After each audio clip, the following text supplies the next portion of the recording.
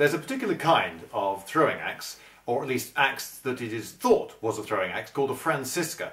Uh, now the Franks had this as their tribal weapon, uh, it's named after them, and uh, it's got quite a distinctive, unusual shape. It's got this sort of um, swirly S-bend shape that comes up to a point and a lot of people looked at that and thought, hmm, I think it was probably a throwing axe. And while I used to think, yeah, you could throw it, I could see how from the shape you might think that's for the, the point to end up going into the target, I really wasn't convinced. Um, my principal argument against this being uh, principally a throwing axe is that um, javelins just seem so much better. I mean, you can carry a great bundle of javelins, whereas carrying a great bundling of, of axes to throw would be very, very awkward and heavy. Uh, you can throw javelins further, probably, um, and uh, more accurately and faster, and they always land point first, and, you know, I don't think you need any more reasons. There you go. For those sort of reasons, I thought that, yes, whereas, you know, you, you might perhaps throw a Francisca after using it in melee, or if you had some other thing to fight with, but you know, more of a last resort, you know, a secondary use for it perhaps. But that was that was before um, my reenactment society made some Franciscas, and then I started throwing them about. Uh, we made three. Uh, I distinctly remember we made three because I juggled with them, and um, you can throw them a fair distance, a, a, worthwhile distance, but not really very far. You can definitely throw a javelin significantly further and faster. Um, so if someone threw a Francisca at you and you were watching them, you, you would see it coming and you'd have you know, plenty of time to dodge. But if, if you threw a javelin at me, okay, so uh, I'm, I'm, ready for you, I'm watching you, and there comes the javelin, whoop, I dodge it, and I can, I can forget about it. It's past me, it's gone. It's no longer a threat. You might be well advised not to forget entirely about a Francisca because of the, the one major characteristic that I discovered about them when we made some full size, full weight, based on archaeological finds and chucked them, they bounce.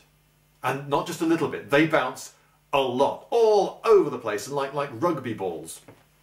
Um, they, uh, I, have seen on many occasions one hit the ground and bounce considerably higher than a man, uh, and in a completely unpredictable direction. So if someone's thrown a uh, Francisca at you and you just let it go past, you may find, oh, you get hit from behind with it. Probably not point first, probably not actually going to kill you or even wound you significantly, but uh, be very off-putting. Now, uh, I doubt they were used much in dueling, but think of it in a battle. Think of a battle weapon. Think of many hundreds or thousands of Franks charging at you, and then from, I don't know, 30 yards or so, they all chuck Franciscas into your formation. Well, there could be havoc you know, um, if one hits your shield, it's likely to then bounce off the shield and go anywhere. If one lands on the on the ground, it's going to be bouncing, hitting you in the legs, hitting the guy behind you, ricocheting off him, hitting you in the back of the head. Um, the haft. Now, I went on the, the, the internet to uh, find some pictures of Franciscas. I'm afraid I don't have one to show you. I don't own a Francisca. Um, I didn't actually make the Franciscas that we were using in the society. Um, and they all had straight hafts uh, whereas all our reconstructed ones had more sort of S-shaped ones.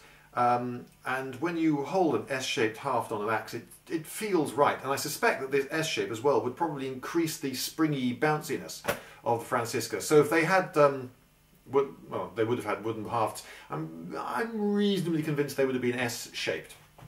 Uh, with you just a gentle S shape. On a modern felling axe, you'll see that there, there is a slight S shape to the uh, the haft. So just exaggerate that. Anyway, so these things bounce all over the place, um, and perhaps that's what gave them their power. Perhaps that's why the Franks actually you know, kept using them, because otherwise, if you've got a rubbish tribal weapon, you can't, you know, just you try to persuade the enemy to, you know, to be really terrified of them, because, you know, all this, yeah, I got to use it as my tribal weapon. I'm a Frank. No, it, it, you, you're going to have a tribal weapon that has has some um, has some punch, has some purpose to it.